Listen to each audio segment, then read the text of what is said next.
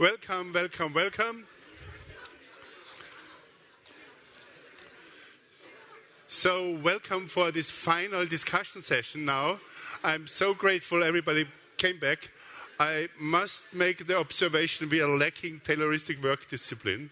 We overdrew the break, was too long. But yes, that's how the things are in the natural commons of communications and learning. Um, for this final discussion, we have three members of the Common Strategies Group Silke Helfrich, David Bollier, and Michel Bauwens. Uh, but before the discussion starts, Silke will actually give a statement which she and David have co authored. Let me try to make a short introduction. I think it's really a shared feeling that we are at a certain historical moment, and that's characterized by two things. On one hand, a very deep feeling about the insufficiencies of the current mode of development, also known as capitalism, and also um, connected to that, also the observation that capitalism is going is undergoing one of its really deep and structural crises. Latest crisis in 2008, that wasn't just another blip on the screen. It's, it's, it's a sign of a deep and structural crisis that this current mode of development is undergoing. At the same time, there's also a shared feeling that maybe the commons holds the key or a key to a solution of this crisis. And that makes, uh, that, that gives really the relevancy of this conference. So if we look at the, conf, at the commons not as a sort of slight oddity and a, a, survivor of an ancient mode of production. But if we really look at it, what also Stefano Rodotà uh, hinted at, uh, the commons as, as, a new design, a new uh, great sort of uh, uh, vision, um, a common future for all, then um, maybe uh, a good quote from uh, material that David and Silke made uh, available to me, then our challenge is to unleash the potential of the commons through commons enabling infrastructures, laws, platforms, and technologies.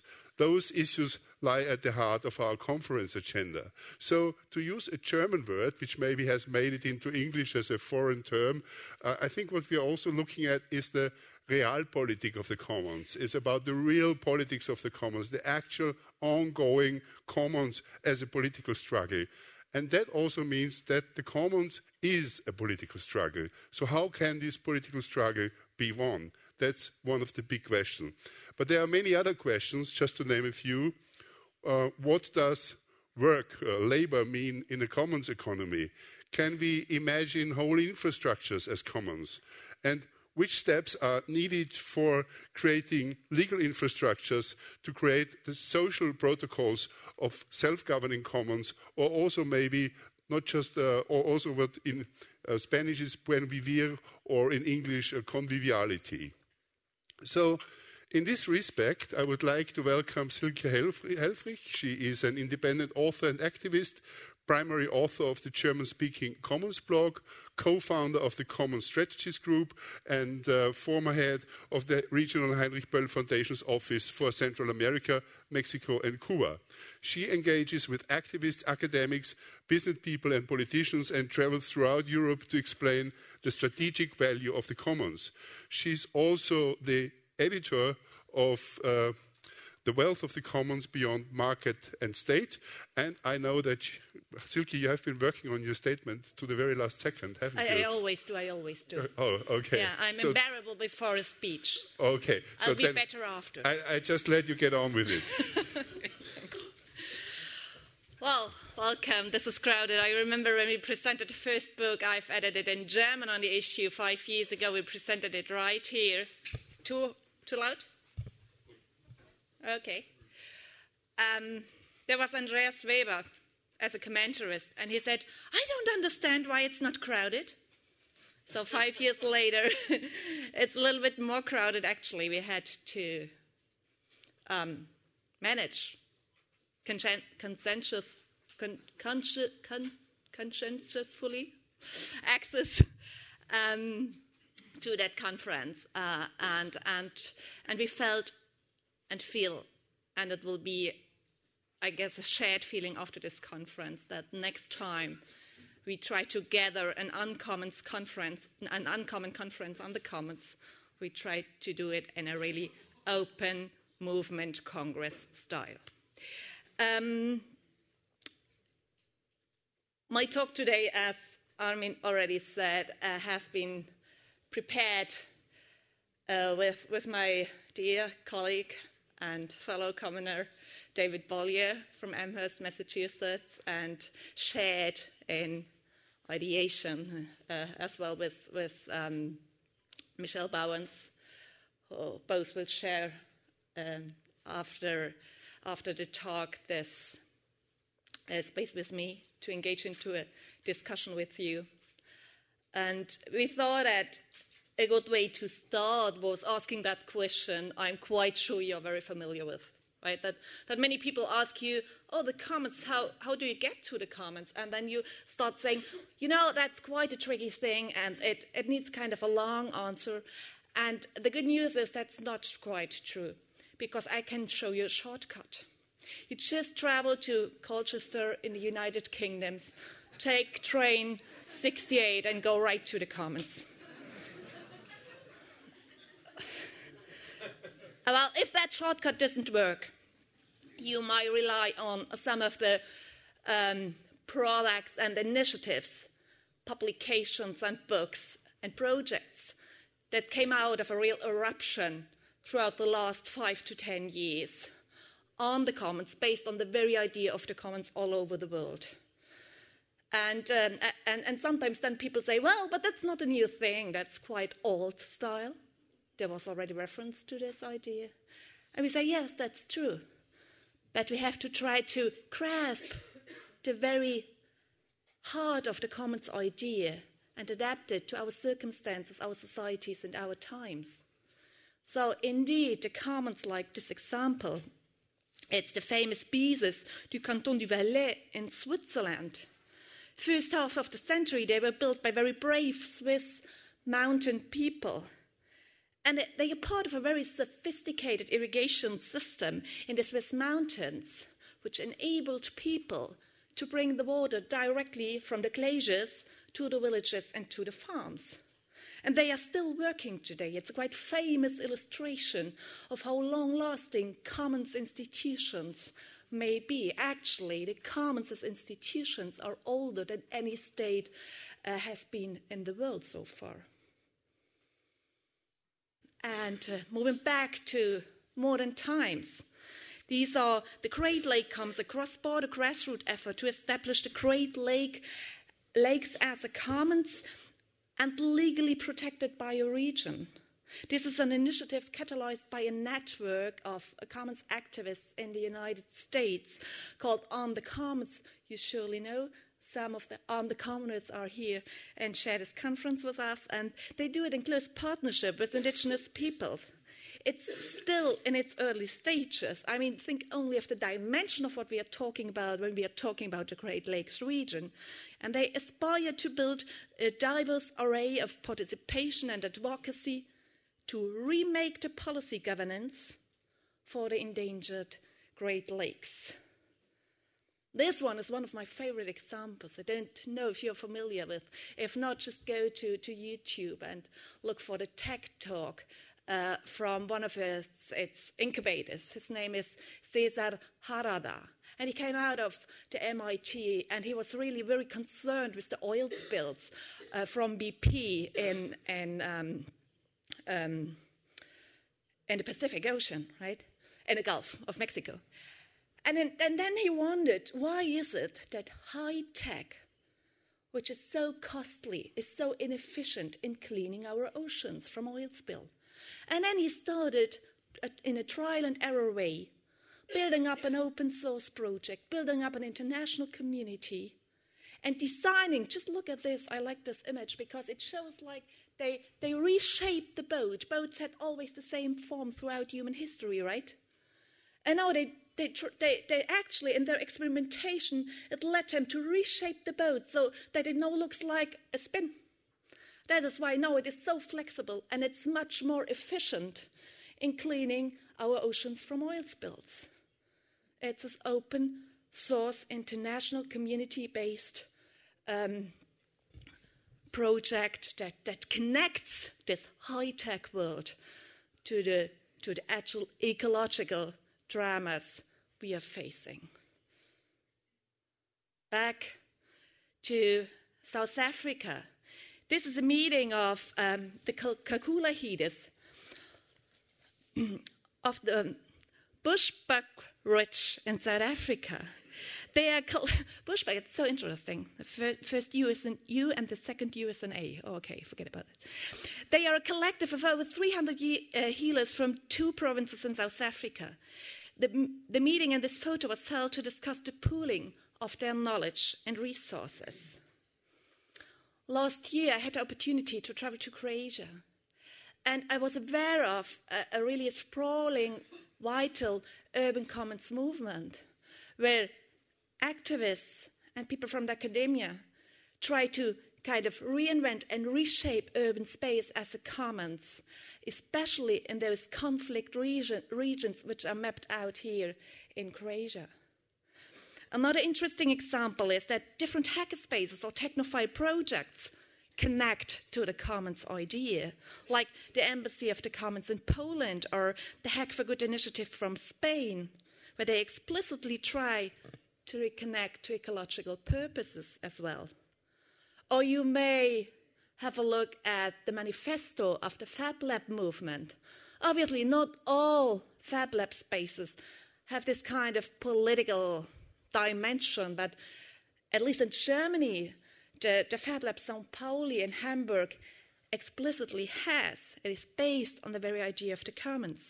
Or the Move Commons, which is a tagging system for internet content and project that helps to identify and support commons based projects. You'll find it uh, down here in the space of Commonopolis during the conference. LibreOffice, which I guess at least 90% of those who are in the room use on their computers and their institutions as well, or at least, or at least um, the, the, the, the, the project they reshape and they took over because Libre, LibreOffice, it's, it's an interesting effort throughout the last two years. The community successfully took back a software product that was bought by Oracle, by a company. And this former software product was OpenOffice. And it was taken over by, by Oracle and then controlled by trademarks and domain names and they were still working with open source Office, but even so, it was very hard to really get it back under the control of community. And now uh, that's the difference between OpenOffice and LibreOffice. Or the Masipag project in the Philippines and beyond the frontiers of Philippines, which is a kind of seed breeding on farm iteration process based really on the needs of the farmers on the, query, uh, on the very question what kind of seed is adapted to our conditions? What kind of seed is adapted to our needs? How can we control as farmers and users the seed breeding process, which in our time seems to be is more and more concentrated in the hand of big companies? And so the very interesting thing on, of this project is they, they, they rename the varieties they breed together on farm. And, and the way they rena- rename it allows them to avoid the national law on seed control. So they don't need to deal with all this issue of um, it's not patent, yeah, patenting uh, in order to get market access for seeds because it's not about market access. It's about creating and breeding together and developing together the best seeds for our needs. Or another part of this eruption is the eruption of kind of educational uh, and learning projects on the commons.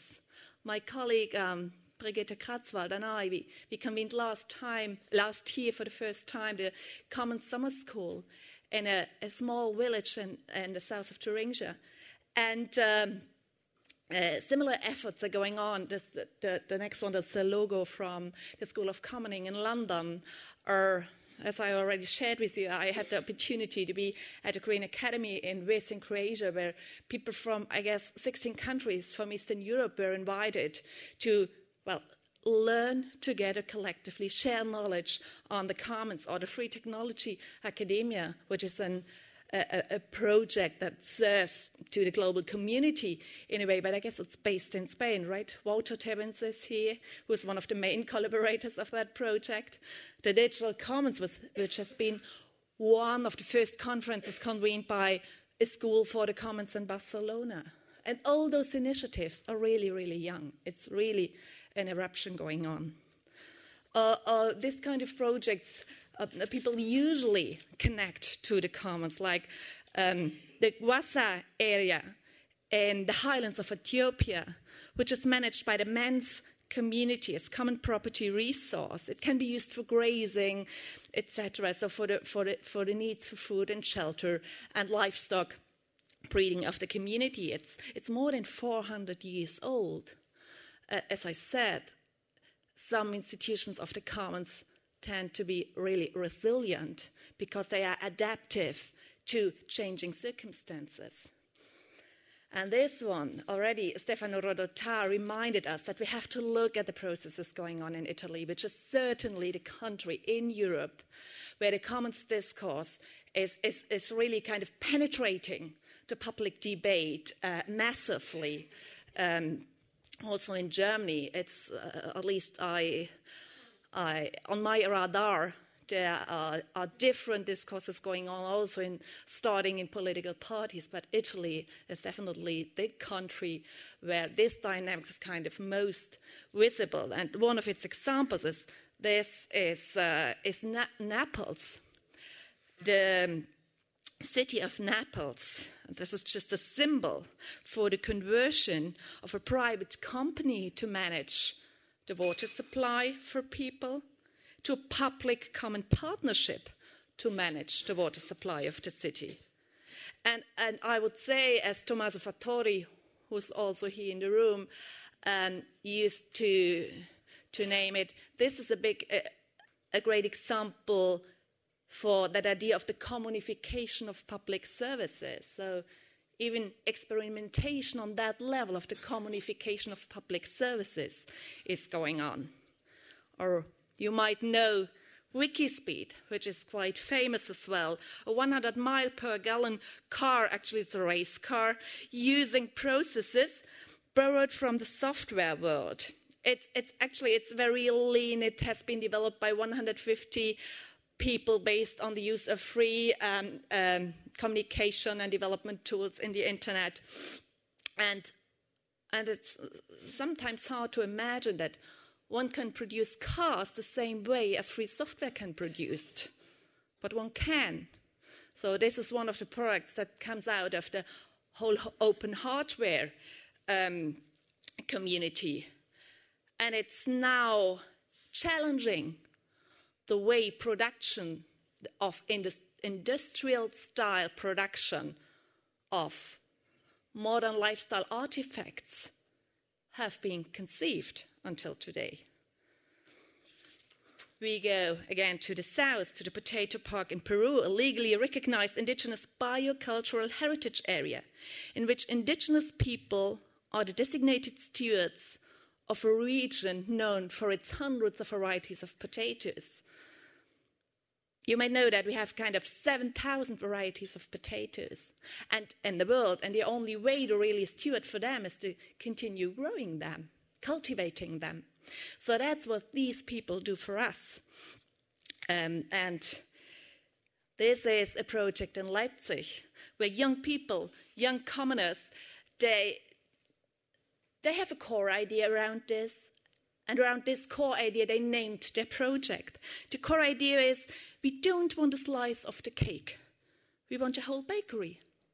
So the project is called the whole bakery, die ganze Bäckerei. Commoners bake bread together and share it based on individual needs.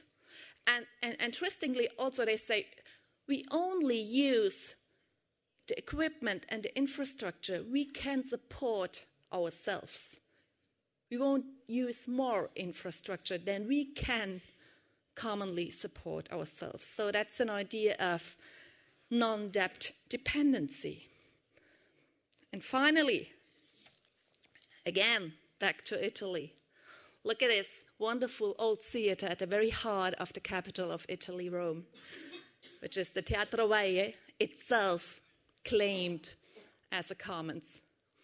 And just a month ago, a bit more than a month ago, they held a Constituente Beni Comuni, uh, a kind of symbolic, of course, constitutional assembly on the commons to think about how law and politics and the state could be reshaped based on the commons idea. And just look at, look at this picture, it's, it's really packed. And in front of there is Stefano Rodotà, one of the leading, leading figures of that, of that debate. So Sisyphus starts his training in the Netherlands with a styrofoam rock. Whenever somebody asks you, How do we go to the commons? give them a styrofoam rock to start making. And this is what we want to start with uh, in the second, which is the conceptual part of this call. Exactly, I'm done with this. That is the question what do all these projects have in common? What does all this mean? Are these projects and the ideas behind them truly related? Is there a shared something in these examples that really could be a basis for a larger movement? It is easy to say that there is a commons movement out there, but it's sometimes difficult to put it in short terms and really figure out what holds this larger movement together. What is the social glue, so to say, between a Fab Lab and the Hackerspace and the Embassy of Commons in Poland and the Masipag project in the Philippines? So we believe there is something that all these projects share. And that, that identifying, crystallizing it, will help us overcome the crisis of political vision. The political exhaustion and fearful short term approaches that always keeps us in the either or box, either market or state, either public or private, either doctor or patient, either teacher or pupil, either nature or culture. So, our challenge here at the conference, our challenge as the Commons Movement, and especially our challenge as Common Strategies Group, of course, is to make sense of this enormous diversity and develop to a relation, to develop the relationship among all these, what we call commons. Robustness and coherence within the commons can fill an incredible void in our political and cultural imagination.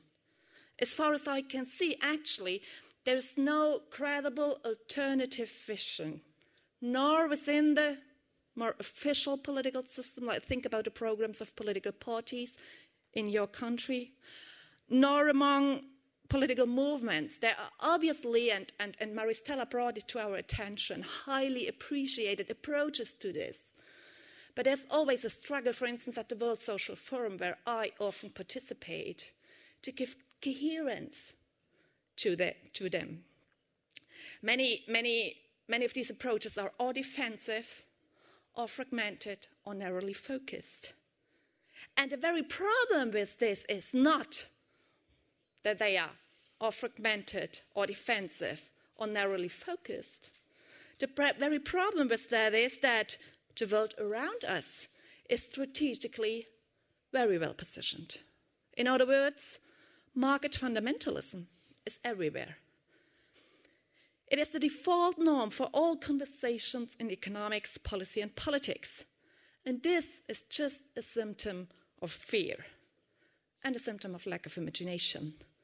The idea, it's the symptom of the very idea that we need a kind of blueprint. The more liberals tend to blueprint market based solutions, and the more kind of leftist think about of blueprints of kind of state based redistributional solutions. So, this ethos and worldview actually has penetrated into the deepest and most remote corners of our lives and livelihoods. Enclosures, privatizations, exploitation of natural resources, financialization, land grabbing, etc., etc., are everywhere. And for me, at least as a political person, the worst thing of it is that those enclosures get really legal support and legal push and legal framing. One of the examples uh, uh, I'm, uh, I'm most, most, familiar with because I've been living in Latin America for quite a while, and uh, well, as you can understand, NAFTA started there in, 90, uh, in 94, so we had NAFTA, AFTA, CEFTA, CIFTA, GAFTA, na, uh, SAFTA, TAFTA. Well, that, that's the way they call it, and they call it economic integration. When, it's, when it is quite a bit of neo extractivism and disintegr- social disintegration, taking space and freedom to the people to manage their own resources because they have to be exported without barriers to the other country.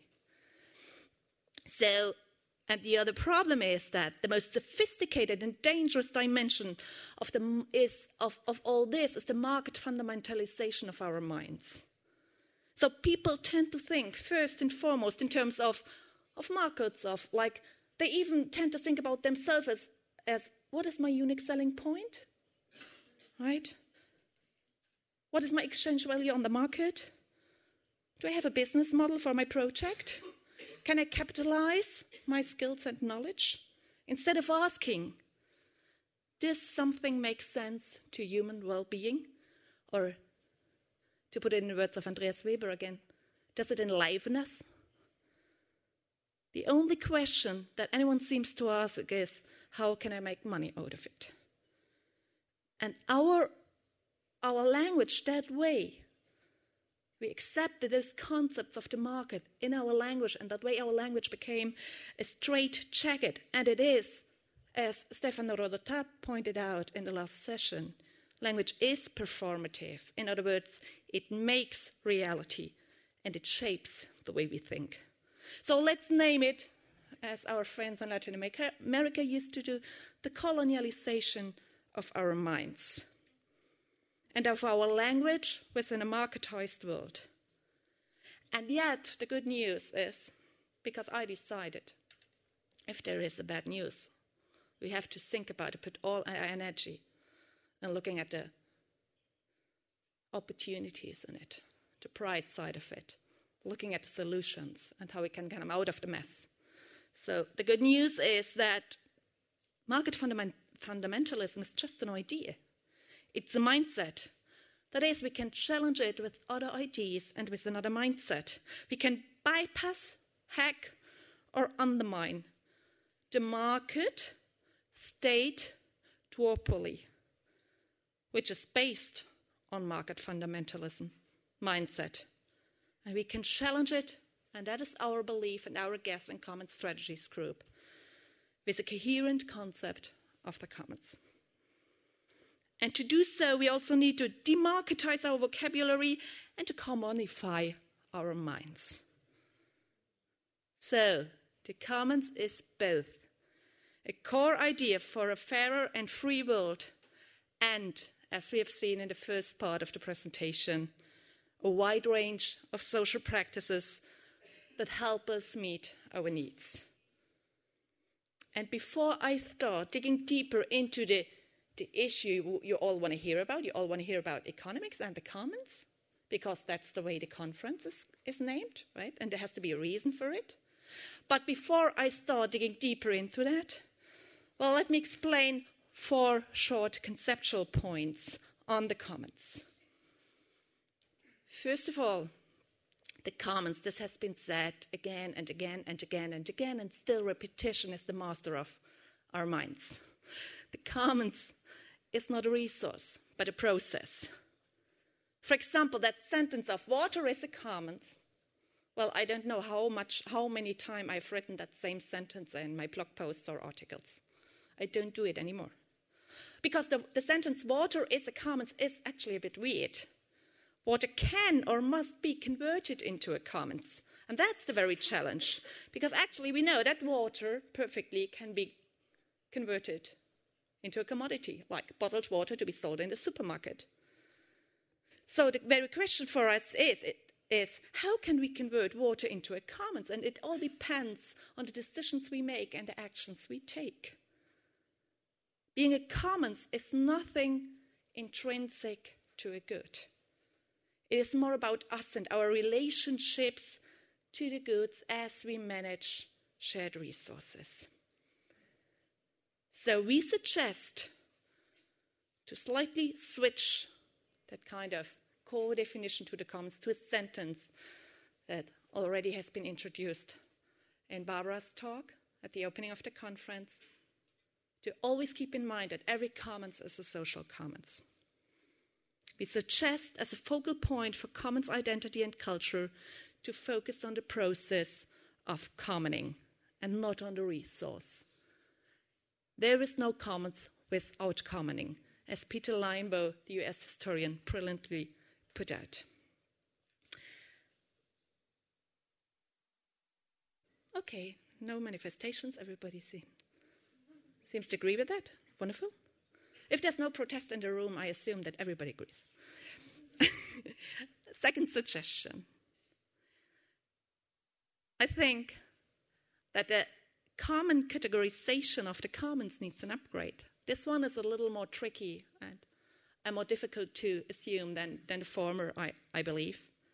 By commons common categorization of the commons, we mean that idea of there's the natural commons or the material commons on one side and the cultural commons and digital commons on the other side. And in a way, I think this is a crutch because it is somehow easier to think about the commons as a thing instead of seeing its deeper reality as a social relationship and a social process. So, from a political and strategic perspective, I know that this distinction is useful in some cases. For instance, if you want to define access rules, it is useful.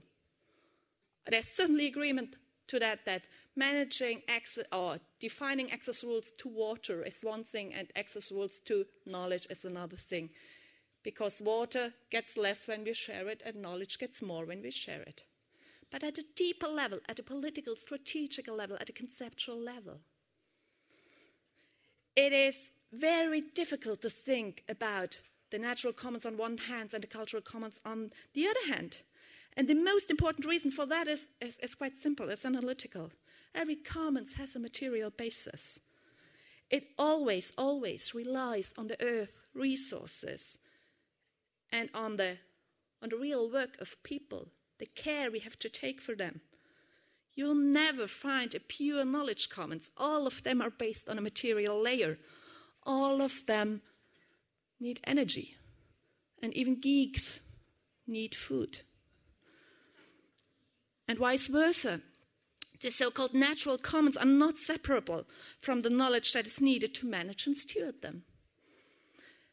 Actually, I guess that the most traumatic side effect, and this certainly speaks to those of you who deal with biodiversity issues, the most traumatic side effect of the so called enclosure of the commons is that people forget how to collectively manage a complex natural resource system. That is why this, for instance, this is the global seed vault in Svalbard and the permanent ice of Svalbard. It isn't enough to protect our cultural heritage, the enormous variety of millions and millions of seeds. Because in there, our plant varieties are disconnected from the knowledge and the skills to actually cultivate them and to make use out of it. And this knowledge cannot adapt, it cannot further develop. So it's a vicious circle.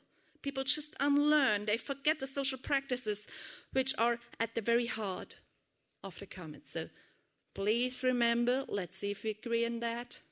Every commons is a knowledge commons.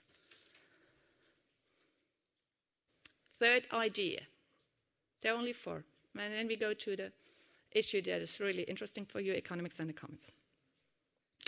Every commons needs protection. or I also like to call it that idea of beyond openness. Because I think that the idea of access is usually overstated, both by the traditional left and by the open access movement, and by Jeremy Rifkin, of course. An access rule in a commons is a means to an end. It's a mean to make sure that there is fairness in the commons.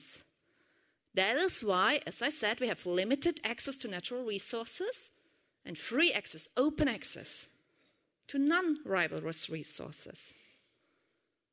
It is just a rule to guarantee that we can all benefit from the logic of abundance of knowledge and ideas and code. But, and here's the point openness does not guarantee that things will remain open, as we, as we have seen in the LibreOffice Oracle example, or as we can see in Google Books. The problem is that we tend to look at the rules instead of the underlying principles. And we should really wonder if the commons should unconditionally be open to everyone, including the enclosures. So, the same way we have to protect a source of fresh water, putting access and use limits for the Commonwealth, we also have to protect the idea of free knowledge. And we need to invent institutions and protection mechanisms so that free knowledge will really be free and stay free also in the future and cannot re- be reappropriated by enclosures or for market purposes. And both ideas, the beyond knowledge and um, uh, the, each commons is a knowledge commons and the beyond openness idea, imply not to build a commons concept and framework on resource categories which is actually a kind of economistic habit. It's a habit that is symptomatic for the ontology, for a worldview that objectifies everything. Our suggestion is, in very general terms, that we base the concept of the commons, the definition of the commons, and the short descriptions we always have to deliver to journalists, etc., on the principles of commoning. Every commons need protection. Remember that. And the last point, and this part of the talk, is how can we stay, scale up? Do you know that question? How can we scale up? Sounds familiar to you? So, and, and then at a certain point, I always was nervous about that question. Sometimes I even get angry, even in a public conference. And then at a, at a given moment, I said, okay, isn't, I wondered if, if, isn't that scaling up idea itself an expression of hierarchical thinking? Isn't the challenge to go beyond scale and to go at the level of principles and patterns and to look for the patterns of the social processes of commoning all over the world, if there are common and shared patterns, if the way we relate to each other in a hackerspace, um, five minutes? Hope you stand more. Okay. Um, but I want to hear about the principles of commons based economy. Okay. Um, so we were talking about the scaling up thing, right? And if we want to scale up, um, exactly, make our minds up on what, what is behind that very question.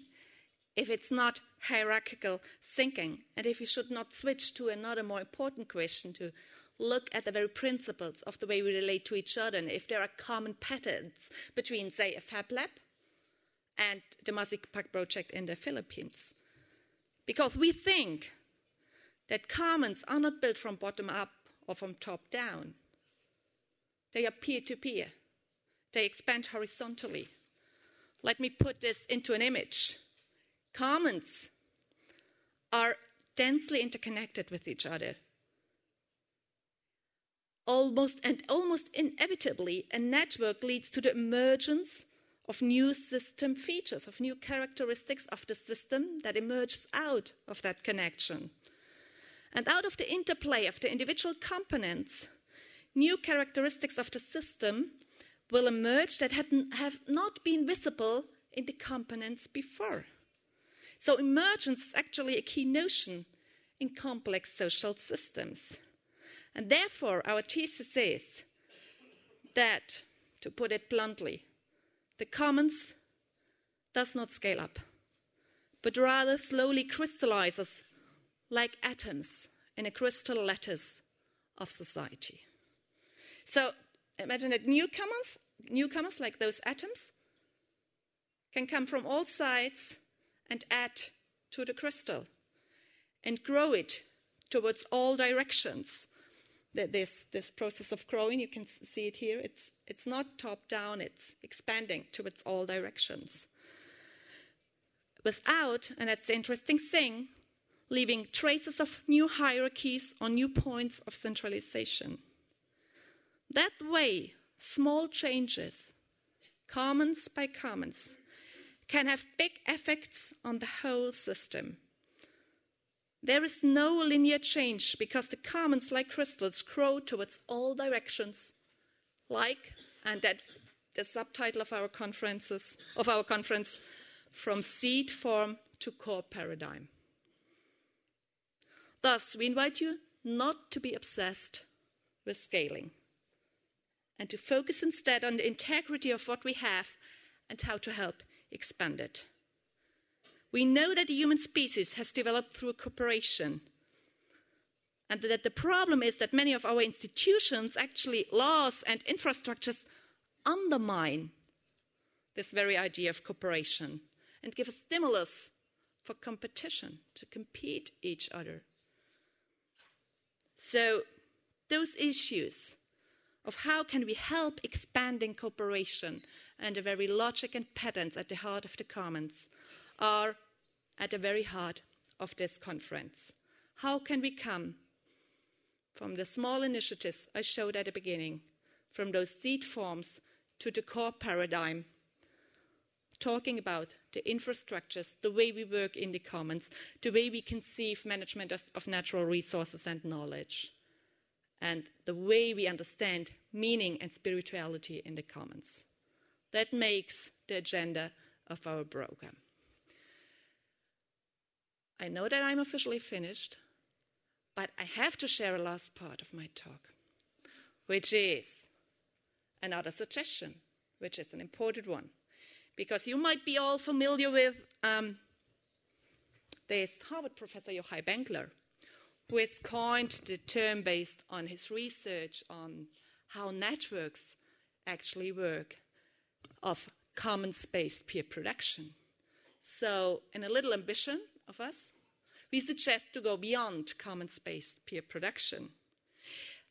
Also, the reason for that is very simple because actually we think that each economy, whatever, socialist, capitalist, whatever economy, it's based on the commons, right? In a double sense, it uses shared resources and it relies on processes of commoning.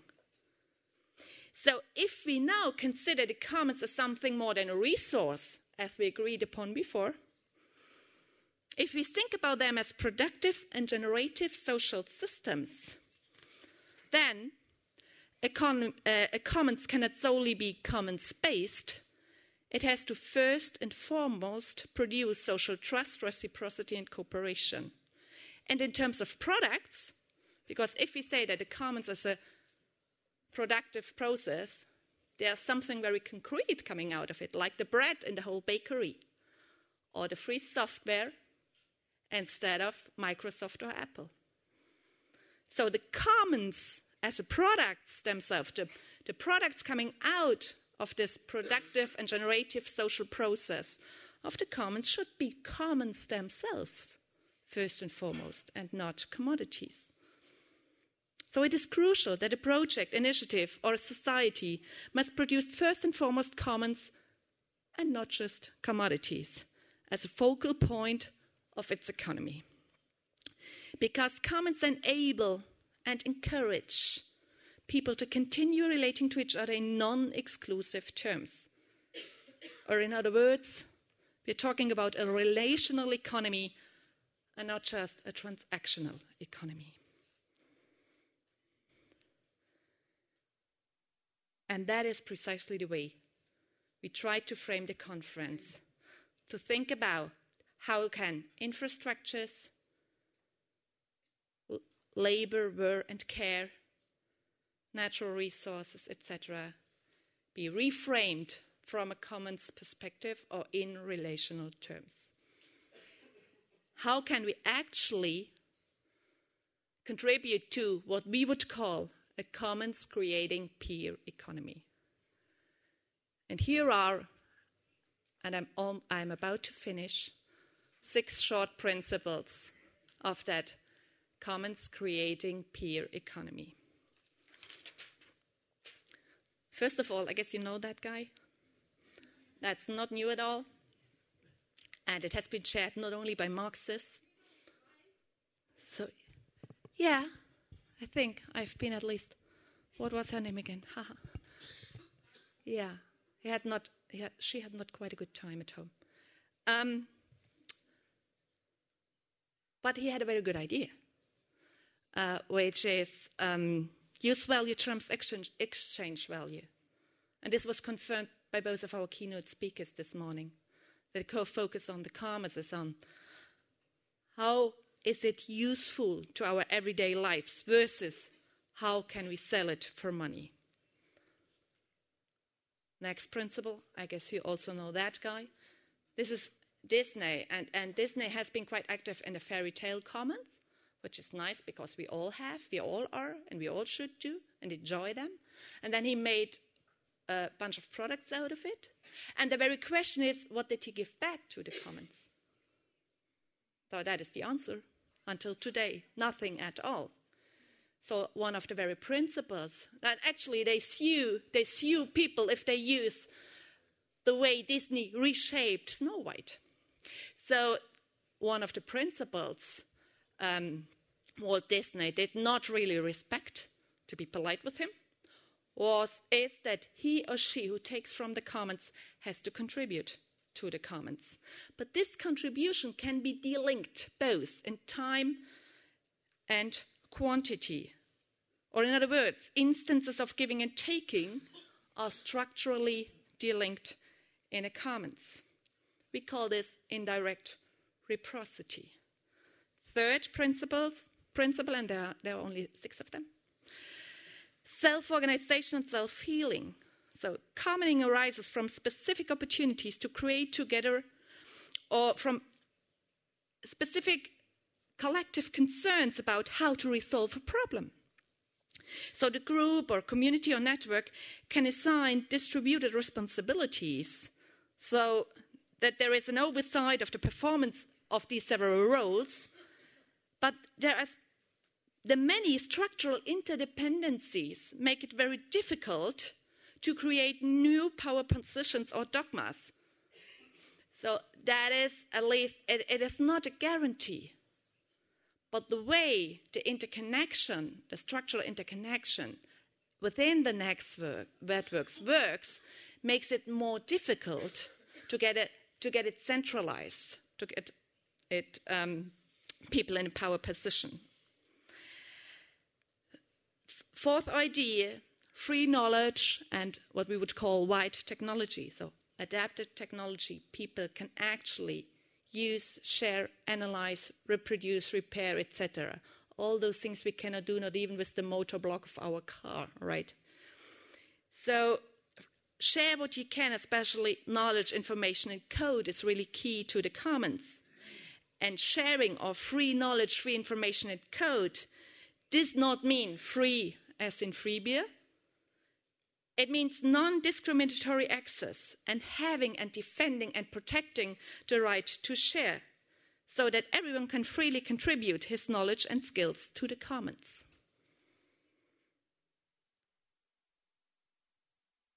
Beating the bounds is one of the ways communists used in the 17th century to protect their commons. It was a kind of community festival where people were walking around, identifying together during the walk the last enclosures, and just taking off, digging off the fences again. So, there's a way of resistance, organized basically as a community festival. So, what we, what we need today, as I said, each commons needs protection, is we would need to look for a modern day equivalence of the beating the bounds idea and tradition. And the last principle of a commons creating peer economy is iteration. That means basically that we start planning something based on the needs and problems a community or a group of users has. We design a system and a solution, implement it and so, and, and, and so on and so forth, and test it on the field, on the ground, on the farm, like the Masipag people did with their seed breeding. So, robust commons institutions are most likely to find protective solutions through trial and error, tolerance for mistakes, and ongoing reflection. And just, and just to share with you two very short examples that I can tell you that this is not utopia. This is done in the real world. The first example is the open source ecology. People from open source ecology are here with us. They designed a kind of global village construction set uh, where uh, I guess it's 50 machines we would use to reproduce our modern livelihoods are designed the same way the open sailing boat of Protei introduced to you is designed. Where every step is documented in the internet, is freely shared. Everybody can contribute to this design process. So, a sawmill, a bakery machine, a tractor, and obviously, but you, you, would need it if you would like to grow your own food, right?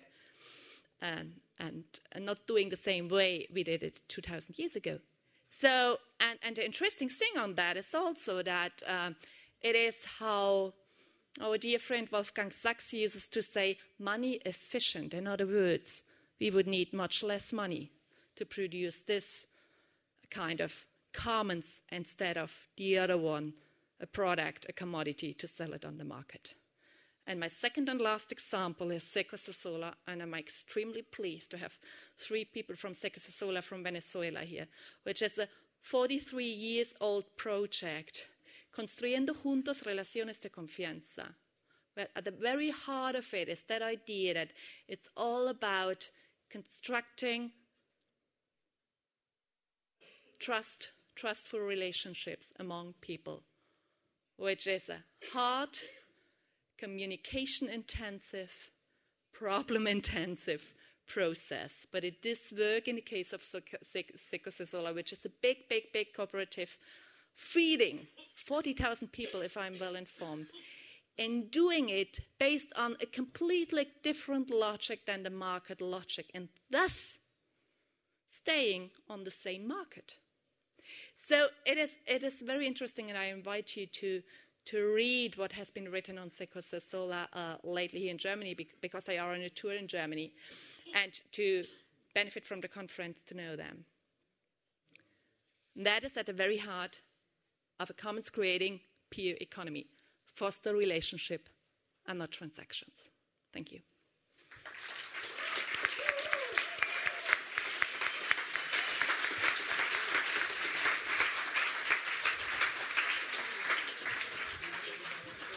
Thank you, Silke, for this great speech. And I would like to ask now David and Michel to, to join us here.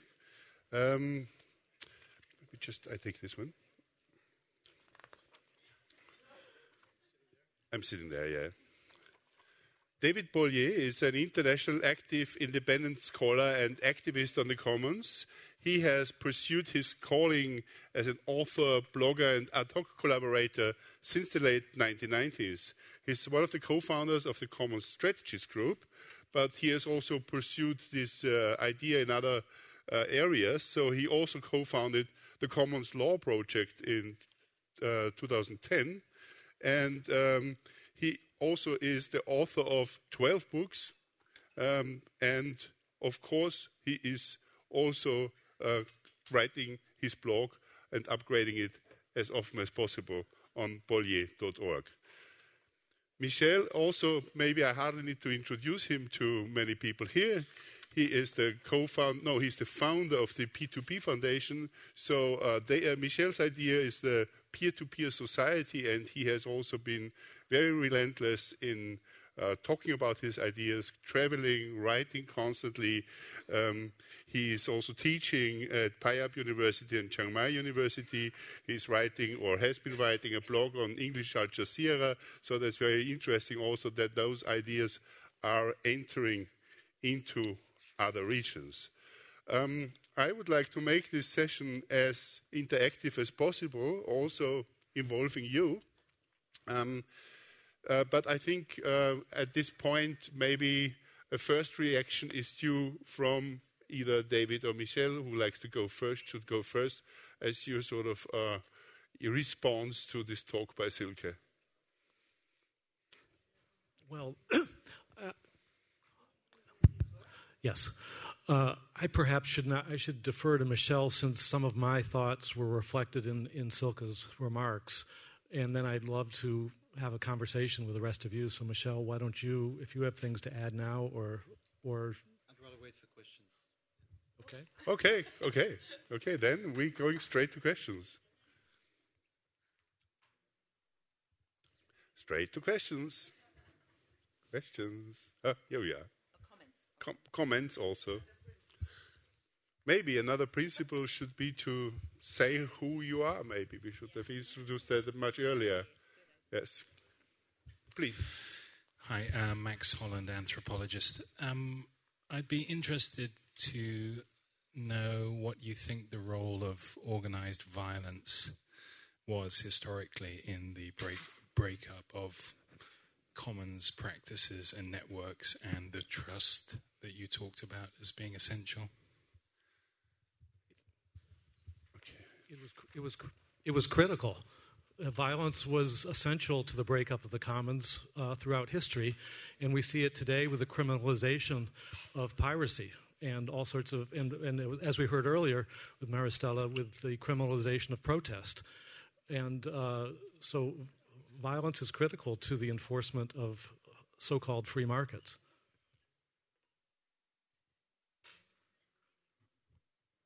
Yes, um, I think this is one of the reasons that I actually think that digital commons are so important because the traditional commons, of course, they've been existing for thousands of years, but they've been really under threat. And I, I think objectively they are retreating.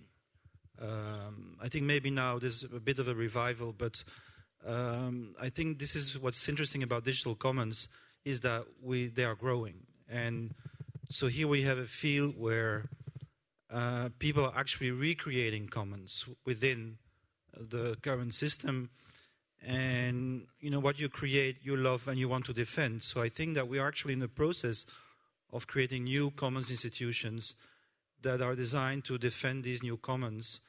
And um, and then can also then infuse that kind of experience back again to the uh, traditional commons and learn from them of course as a cycle. So i think they're both uh, very much related to each other but i think the um, we, we can learn a lot uh, in, in our time from how digital commons are consolidating their existence and defending uh, you know their own expansion. And I think, you know, we have to think about capital accumulation. That's the current system. We have to think about commons accumulation, which is happening. But we also have to think about what I would call cooperative accumulation, which is, you know, how the people who work for the commons can make a living and create sustainable livelihoods outside of capital accumulation. This is still kind of a missing area and I think that the important thing here is that we have to think about is the convergence and the synthesis of the social economy, the solidarity economy, the cooperative economy, um, which is you know it rests on ethical uh, premises, with the emergence of peer production and the open uh, methods. And I think it's the combination of those two things which will allow us to, to project power and counter power to that violence which has destroyed the traditional commons.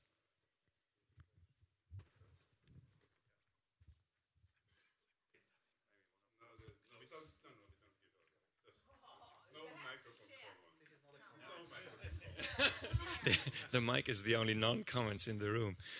Um, yeah, so um, I'm, Andreas Weber. I'm a, um, um, a cultural uh, scientist and a biologist and a book author and um, and um, a commoner. Actually, I know, and well, I'm, I'm as always I'm intrigued by your talk and as as you told uh, the audience, I've been here five years ago, um, and I'm always intrigued by your talks and also by the way they evolve. And so somehow, actually, I'm also intrigued by the way the politicians evolve, which are here because five years ago there was also a politician. And it's also this, yes, yes. Sorry, um, no, no, it's. Uh, but I, I, wanted to say that um, I, I, will talk about um, commons principles and the way to general, generalize them. But I, I just wanted to point um, that um, what you what you did here, um, you you could also you could put to, to, to different frames. So I will talk about um, a perspective of um, well life or bi- biology, but what I see here is that you you could also describe relationships with what you used, like um, um, indirect reciprocity, sharing. So, in a way, we go far from um, this political or technical description to something which is quite deep and quite general. And I think this, this, is, this is what is exciting me in a way, because so we, we arrive at a layer of description of reality which becomes uh, not only a kind of third person description, but which we can also share as beings. And I think this is also a commoning process. So it's, um, I think it's, I'm, I'm impressed. Thank you very much. Um, maybe I think we take this as a note, maybe some responses to that later, yeah? Um, I think here at Oh, he, uh, sorry, here, please. Yeah, he was already trying to say something earlier. yeah. Right. Um, David always reminds C- me. That, could you please say who you oh, are? Oh, Richard Rosen uh, from the Tellus Institute. I work on um, energy uh, systems issues mostly. But I think David correctly, and Silke certainly did in the talk, r- reminds us that commoning should be conceived of a process. And again, I'm behind the eight ball here, but you know, like if we had one kind of commons in a community, say around water, I can sort of imagine how the process might occur. But if in, say, a particular community or region, each individual is part of a big process which might involve many aspects of society water, food, you know, energy resources, you name it it seems to me commoning would involve a major reorganization of how society is structured, and particularly how decisions, political decisions, are made. Could could you comment on that? Um, would you like immediately? Yeah. Oh, I'm sorry. Do you want to take more questions? Maybe. Yeah.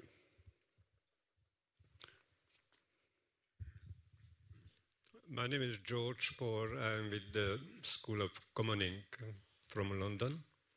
I appreciated very much this new and quite radical thought, new to me at least, that uh, every economy is based on the commons, which is kind of dull, kind of evident, but uh, having heard uh, articulated like that uh, brings up some interesting questions, uh, particularly around uh, Silke's other statement, which, if I recall, was something like uh, if it is so, then of course uh, products uh, should be also commons and not commodities. Uh, And uh, of course, I, I totally agree with that. And the question that all this leads to me is um, what do you guys think, or have some insight or some intuition about what can be, or what are, or what can be the commons enabling infrastructures in the area of uh, capitalist production. I mean, what will happen to the big corporations? What we, are, what we hear a lot and uh, is focusing on the positive uh, examples of uh, commons outside the, the traditional uh, production system. And that also makes a lot of sense because uh, well, one can say that don't fight the darkness, better, better light a candle. So let's uh, create the, the new instead of focusing uh, on the old world that is dying. But it's unlikely that the old, old world will really die without a significant push from us. So that's why I'm asking that's why I'm asking what, uh, what do you think about what could be the commons enabling infrastructures inside the corporation that would uh, help the transition towards uh, work as commons? I'll take one more question from here. Yep. And then I think we have a lot to talk about.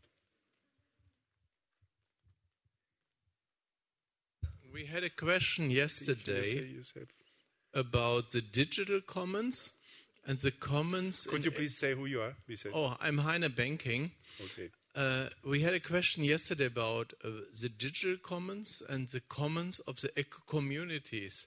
So I wonder how we can make that concrete, because the final question is who owns the commons, who protects the commons, and who shares what is beyond the commons? And can we as we try to sum up in rio after 92 can we come to common frames of references? And maybe that is a new quality of commons okay i think we have collected enough um, there was first andreas uh, which was more like an extended comment congratulating to the change in syntax and direction. Would you like to? Well, uh, yes, while, he, Andreas didn't ask a specific question, I think he pointed to something rather profound, which is that the commons gives us a way to reclaim our subjectivity and intersubjectivity as a valid, important aspect of production and creating society, in that it unlike technocratic solutions, which uh, presume a certain objectivity, and we're all fungible units in a cog known as the economy, or cogs in the system known as the economy, uh, the subjectivity of the commons, I think, is its engine and its uh, heartbeat. And uh, I think that's something worth pausing on because I think it's part of helping us reclaim our humanity in the face of a lot of larger systems that uh, don't really care about our humanity. Then there was the question about the commoning as a process, which also imagined uh, involved a major reorganization. Would you maybe, yeah? This is a bit of a complex uh, question, um, but I'll, I'll, give you my analysis of what the problem is today. Um, you know, when when we say that every production is commons based, uh, that is true. But of course, there are modes of, of capitalism that destroy the commons, that enclose the commons, but there's also modes of capitalism now that actually create commons. And free software is a very good example because IBM works with Linux and is creating more Linux. So we have a very paradoxical situation. And so the situation for me is that we have a commons accumulation in terms of use value. But for the commoners themselves, they're still obliged to sell their labor and function within capital accumulation. And this is for me the key uh, that we have to change. So, how can we find modes of operation that allow the commoners to create new types of vehicles that can create sustainable livelihoods for the commoners working for the commons. Now, I have, I have a potential uh, solution to this, which is a bit one of the principles that uh, Silke uh, used which, when she said that that commons should not be free for people who do not contribute to the commons. So I'm proposing that commoners should use new types of licenses that actually say if you're not contributing to the commons, then you pay. And this would create a stream of exchange value from capital to the commoners. This is one, one uh, solution. The second is that commoners should create not for profit uh, entities. So, in other words, where the social goal of the co op, of the fair trade organization, of whatever legal means they use, is actually to strengthen the commons, so that you are actually legally and structurally, as an entity, uh, in reinforcing the commons.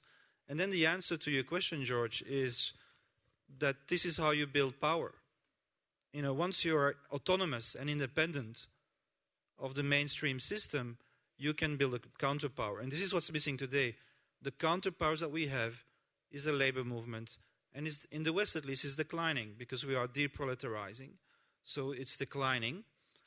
And we are exactly in the same situation as the 19th century, where the knowledge workers who are precarious and are creating the, these commons have to start organizing again their mutualities and all kinds of entities that create a social fabric which can sustain new type of social and political movements. Of course, in alliance with the old ones. But we know that it's no longer enough to have labor movements uh, to change our society. We need to build commons based social and political movements, but they have to be based on something real, which is the actually the actual power of these commons producing social organization. And it's the, for me, that's the answer. It's, that's why it's never a technical answer. It's never just social. It always has to be, you know, technological, social, and political at the same time. Michel, that was very efficient. You answered two questions in one. Fantastic. Silke wants to say something. Uh, yeah, I don't want to answer a question, uh, but, but I would just challenge one remark George made uh, when he said that uh, uh we presented pretty much um, examples from outside the traditional production system. And I would like to challenge that remark. Uh, well, um, they are outside of the box thinking, but I have to develop those initiatives and, and seed germ forms of, of commons to produce commons within the system, and that is precisely the, the, the, difficulty. So I could not really explain how open source ecology works, and it does not make sense because we have people from open source ecology here, or it could not really explain how SQL Solar works. But I was really intrigued by how they um, buy in, you know, how marketized our language is, how they um, take to their hearts the very idea of producing commons. Just one example in and how they, for instance, switch their idea, the logic of scarcity, to a logic of abundance in the case of food production. Just imagine you go to the market tomorrow and you'll find spargel in English. Asparagus. Asparagus. Asparagus. Asparagus and spinach at the same price a kilo. Well, that's what Solar does. So the idea is what do we need to contribute to produce the food we need? And the, the food they actually produce and put on the market is not related to the, that idea of scarcity. The more scarcer, the higher the price. It's really sold to the same price per kilo each product. And the very question for Solar seems to be, and I, I, I, could not identify where you are. I guess you are somewhere in the room. Oh, hi. Welcome. Bienvenidos. Um, is, and please correct me if I'm wrong, is, well, what do we need? How do we have to develop trustful relationships, etc., etc., to continue producing what we need to make a living in such a way that everybody gets what he needs and that we don't have to need the logic of scarcity and the logic of control. And that way, and that's the amazing thing, they sell at a lower price as the average market price. And they really provide food, not to a community of 250 people, but to thousands of thousands and thousands of people. So it's not outside the market. It's, it's being innovative and finding ways to kind of hack the logic of the market.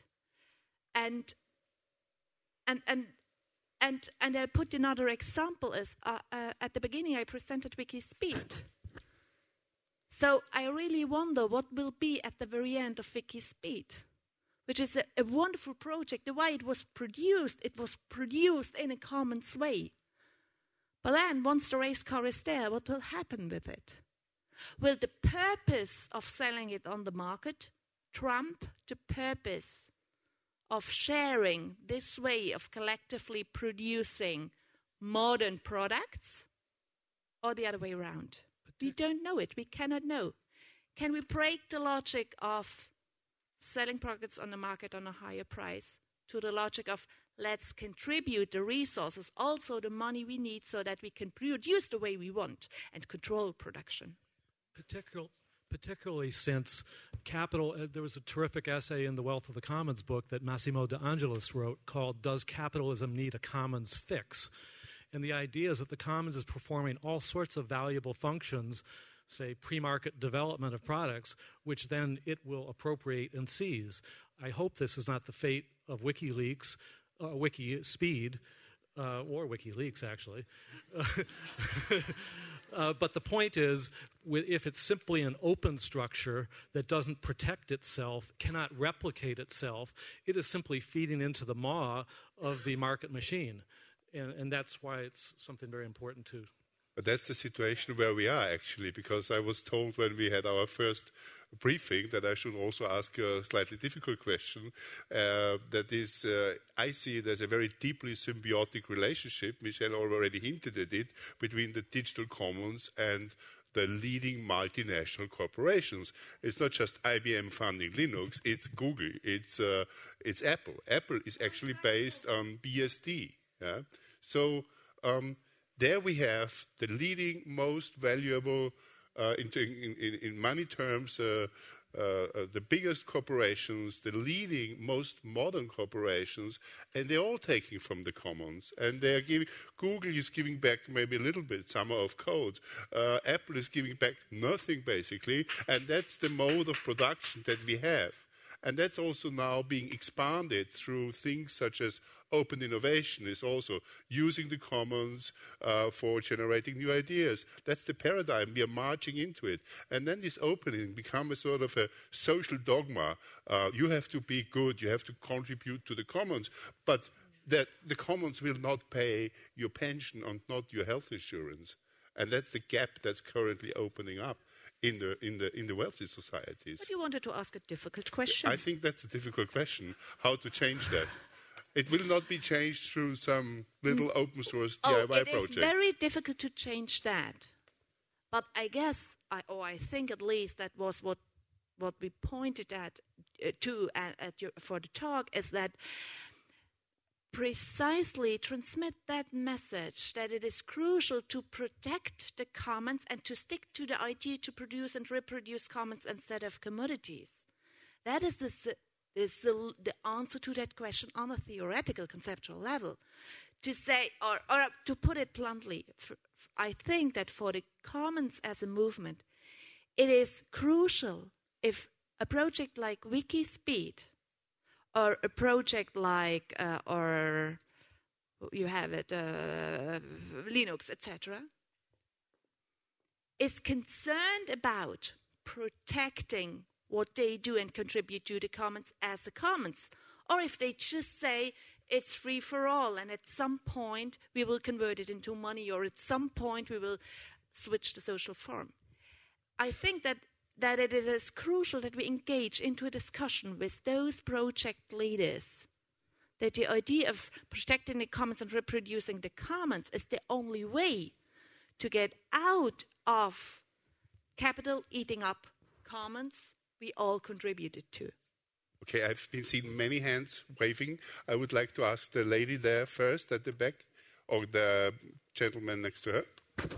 Yes, I'm, I'm Philippe Aigrain. I'm, I'm a commoner, a writer, and, and uh, an internet freedom uh, activist. Uh, I would like I would like to come back to the initial introductory talk because uh, though I, I, I, sort of uh, agreed with quasi everything that was said, I'd, I had at the same time an uneasy feeling. And the feeling comes from the fact that at some point when uh, uh, the Common Strategy Group looks for what the commons have in common, eh, come into place a number of words like reciprocity uh, that have, uh, uh, let's say, that can be given a moral meaning, and in the sense that, for example, uh, if we don't ask ourselves reciprocity towards what? Uh, uh, that is, most commons function with people contributing to the commons and people uh, benefiting from the commons without transactional relationship between the two. Uh, and if we start thinking of it as a kind of ethos of reciprocity that will bind the people together, that would uh, uh, constitute uh, uh, mutual obligations, then I believe we, we are going to re-import some of the aspects of uh, the medievalism uh, of which uh, Rodotà spoke initially. That is the fact that moral obligations are oppressive. Uh, I mean, they, they require forms of enforcement uh, that, uh, that impose frames of behavior on people. And of course, sometimes it is sort of necessary in the management of commons, but sometimes you can very much relax that. In, in, the, in the information commons, you do not have to care about what are the motivations of contributor. You have to care about them contributing, any, not even always. Okay. So what I, what I would, uh, uh, let's say, is just, I would say, all these things are fine, but they must be handled with care. It's not just the markets that had violence, the, the commons themselves had oppressive properties that weakened them and made the market violence appealing to some.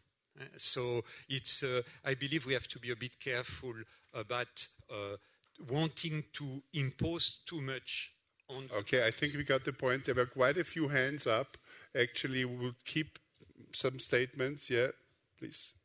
Have you? Yeah.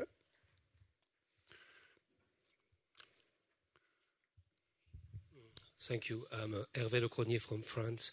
Um, I, I, think that the question uh, that the journalist asked is the very important one because, uh, David, when you talk about worker subjectivity, uh, in, in, the commons, I think we have to look at the way the cognitive capitalism is working. And it, it is working by asking everyone to give his whole subjectivity to the process of accumulating money. And there is an example that is very important is the Department of Defense in the United States who ask for everybody over the internet to build a new amphibian vehicle uh, with using crowdsourcing and every subjectivity. And what it has stake is that people want to give their knowledge. They, they want this. And we have to deal with this to create the new commons, but the capitalism is also acting to deal with this, to deal with this people subjectivity to build new capitalism. And I think that uh, the question of the law is very important. As Michel remember, uh, we are in the same situation from the knowledge common that the worker movement was one century ago. But by, by the process of the century, all the worker movement asked for protective law, and we have to ask for this to protect um, our commons. Just one example, and I will stop, is if we want to protect the knowledge commons of university research, we, we have to deal with two things. First, to break the law, just like the Bayh-Dole Act or, the law that uh, help a researcher to, uh, to have patents. And the other action is um, to have enough money to guarantee independence of university. And for this, we have the big corporation to pay, to pay their uh, revenue uh, service.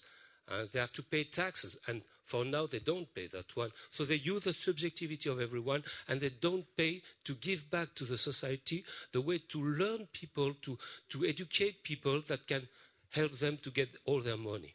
That's a very good point taken. Um, uh, the Asian lady there, please.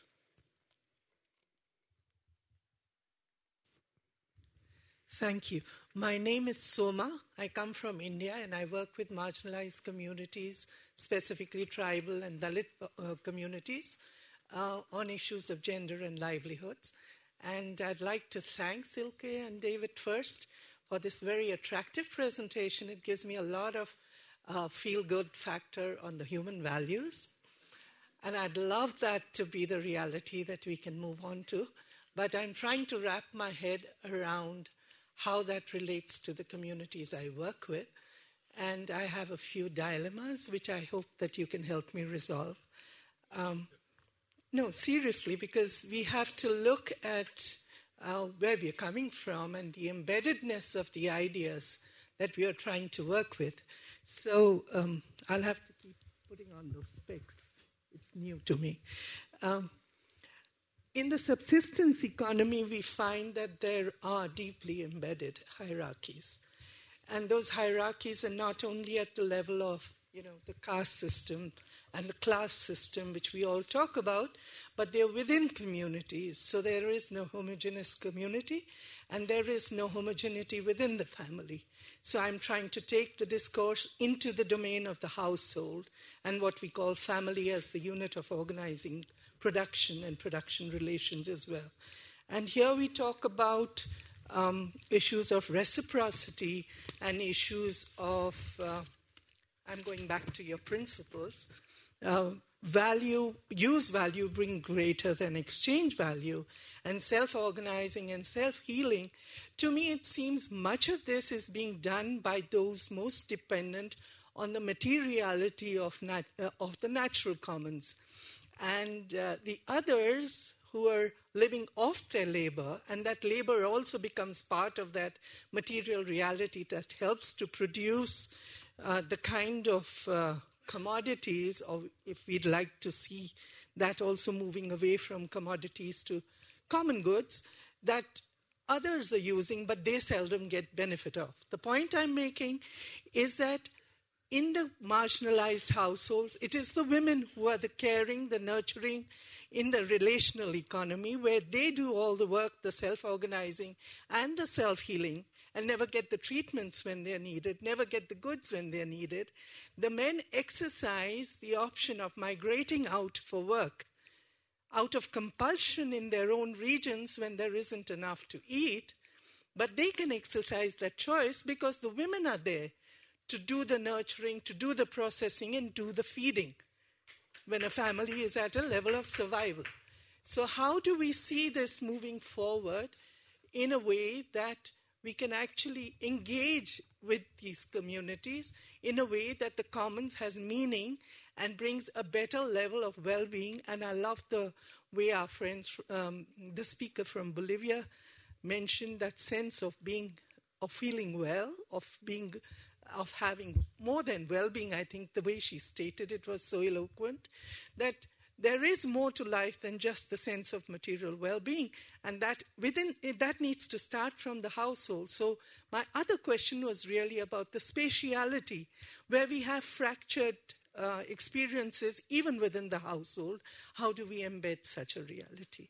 And I really do look for answers to that so that we can take this into a realm of engaging strategically with our communities?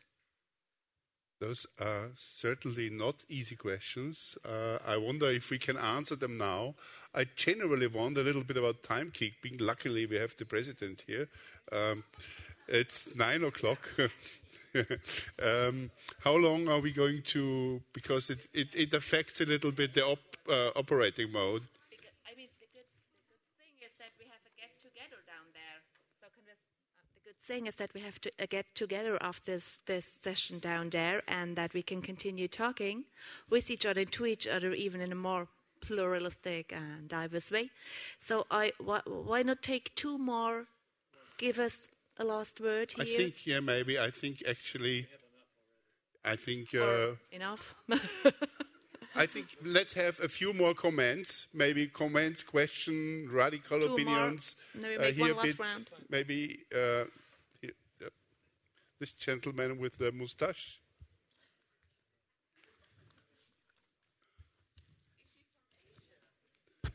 No.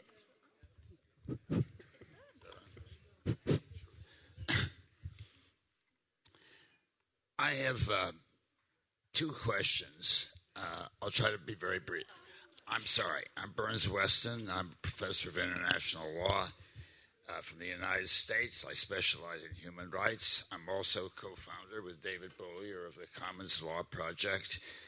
Um, and uh, it's really out of both of these activities that I have my, two questions. I've not heard in this discussion, uh, I'm extremely taken by, uh, Silke, what you uh, said. Um, but I've not heard in this discussion any reference to human rights, except perhaps at one point you did allude to it, but it certainly wasn't a central theme. Um, and as far as I know, um, as, for so long as there has ever been human societies, uh, almost any form of social organization can become corrupt, uh, can be regressive, uh, can be, um, how shall we put it, anti commons.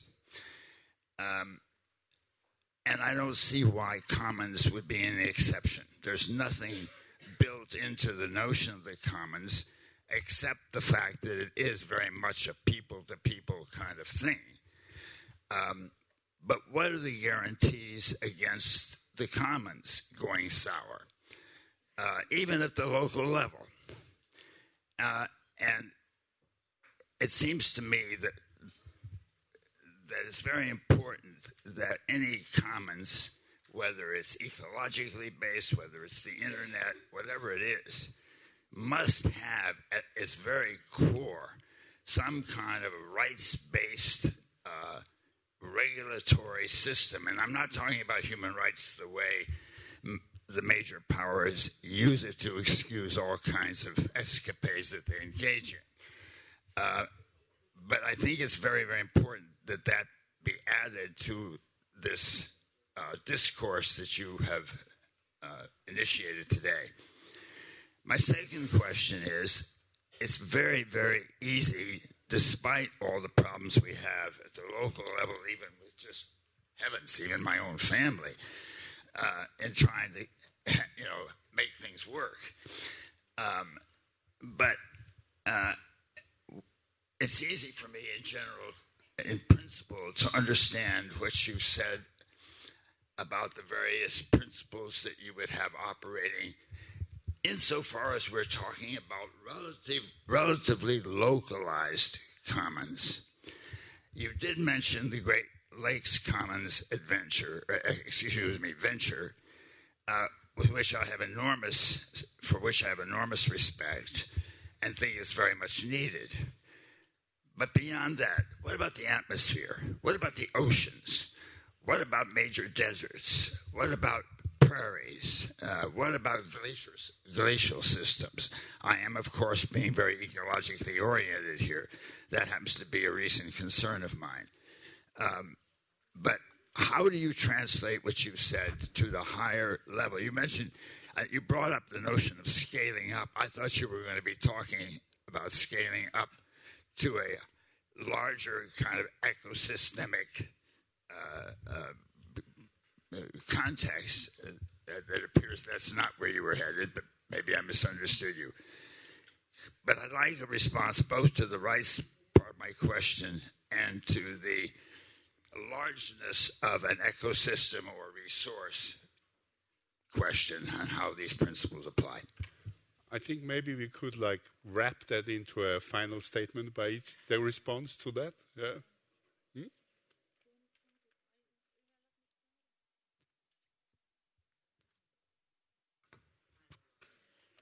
Hmm? Um, well, uh, a, a, few a few comments first to to Soma from India. Um, I want to be very clear on that point that I didn't think that whatever is community based is a commons, and that in commons uh, in communities there are no hierarchies.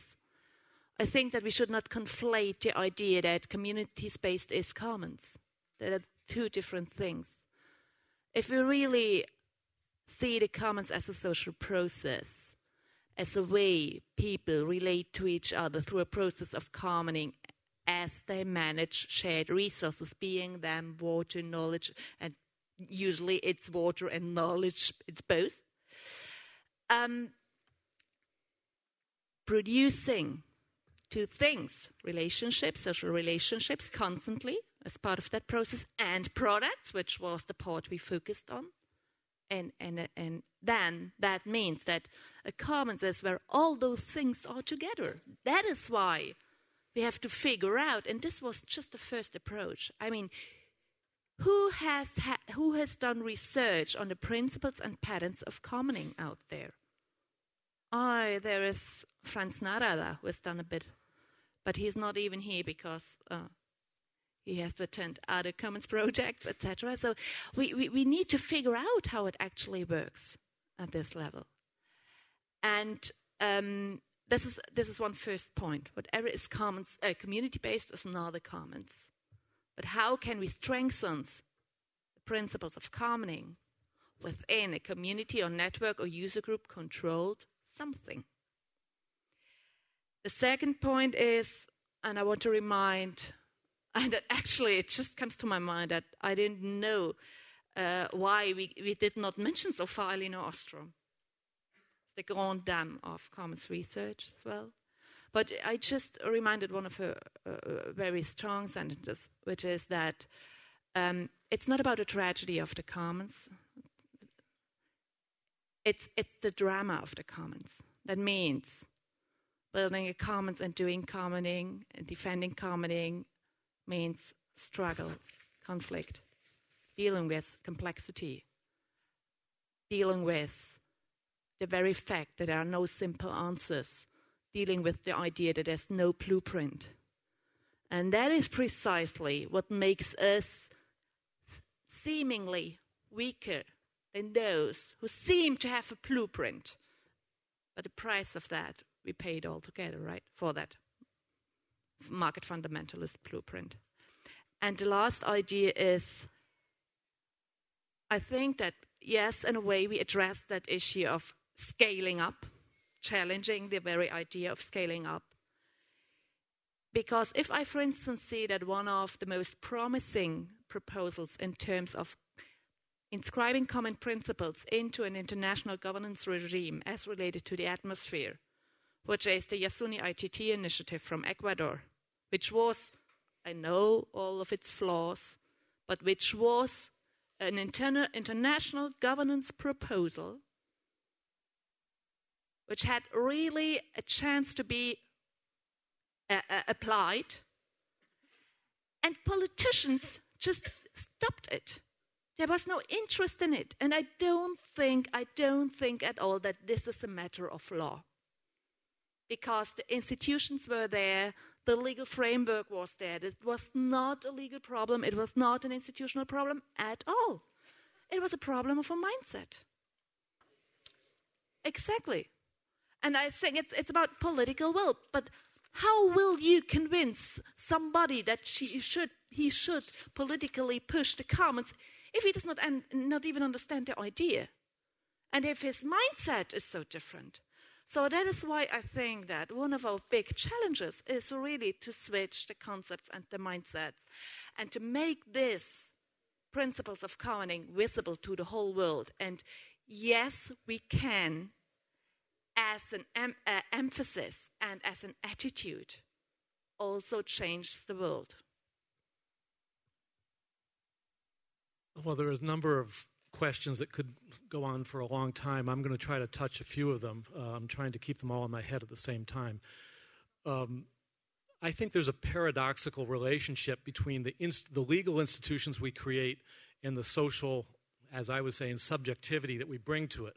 I think Philippe was quite right to raise the question of we need to deal with this subtly uh, because different circumstances play in different ways.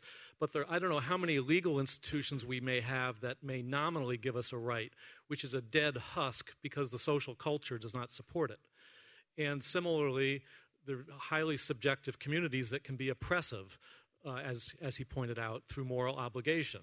So I, I think there's a risk in us getting to one pole or the other, and this is a constant iterative conversation between our legal forms and structures and uh, our social subjectivities as we engage with them.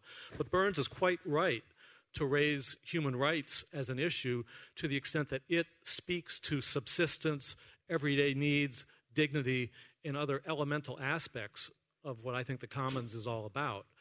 And within, I think part of the challenge is, as uh, Stefano Rodotà was pointing out, was how within the existing system of the nation state and constitutional, liberal constitutionalism, we can build makeshift, workable legal structures that recognize the commons and can empower them uh, as a matter of law. So they're not simply an aggregation of, uh, of uh, isolated commons without recognition by conventional law.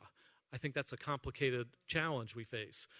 Uh, Burns and I have produced a, a draft covenant that tries to address uh, the, the uh, rights based approach to, uh, to the clean environment and to the commons as a basic human right. Uh, so I think this is part of a conversation we have to begin, as, as Stefano did, uh, to how the law and institutions can enable but not simply become dead husks that don't live with the vitality of our social engagement with it.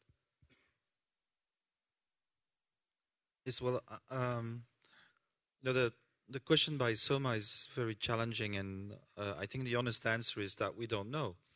But I think the important thing is that peer producing, commons producing communities are creative communities. So they are facing all kinds of problems, all kinds of obstacles, all kinds of attacks, and they are experimenting with solutions. So it's very important that we start observing what is actually happening in these communities, how they are solving uh, these issues. And I'm sure the same is happening, uh, you know, in other regions of the world. There, I think the problem is uh, a problem of communication.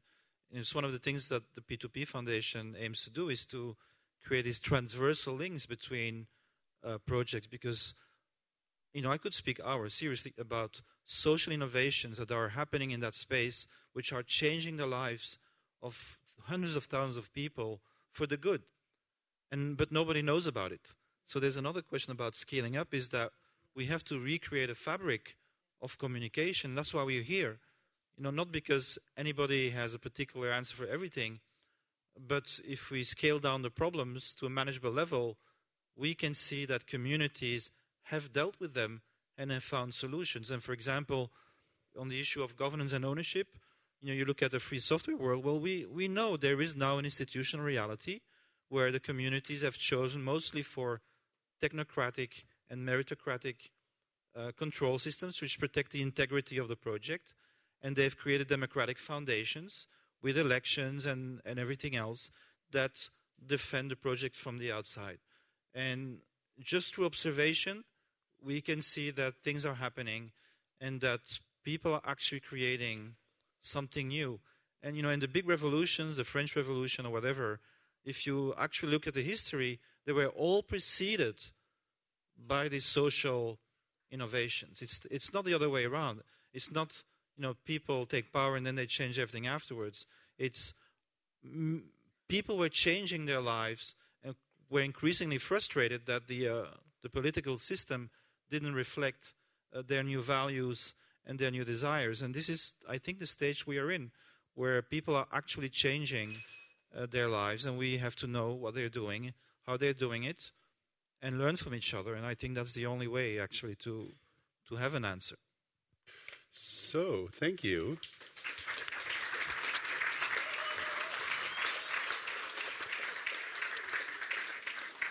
I would also like to uh, take the opportunity to say three things very quickly. Um, first of all, um, I, I, think I'm getting a bit old because uh, sometimes uh, when I hear commons, commoners, communists, uh, seem to, that seems to be like the elephant in the room, not to be talked about, because it is the same word, it has the same roots. So there seems to be a fear of being sort of put into the same box or category. That's just one observation I have. The second observation is that sometimes, especially when there is talk about the digital commons, I'm afraid the digital commons as a vision sounds like the latest form of Western centric universalism. And the third thing that I want to say is free, as in free beer, is gravely underrated. So let's have some, maybe.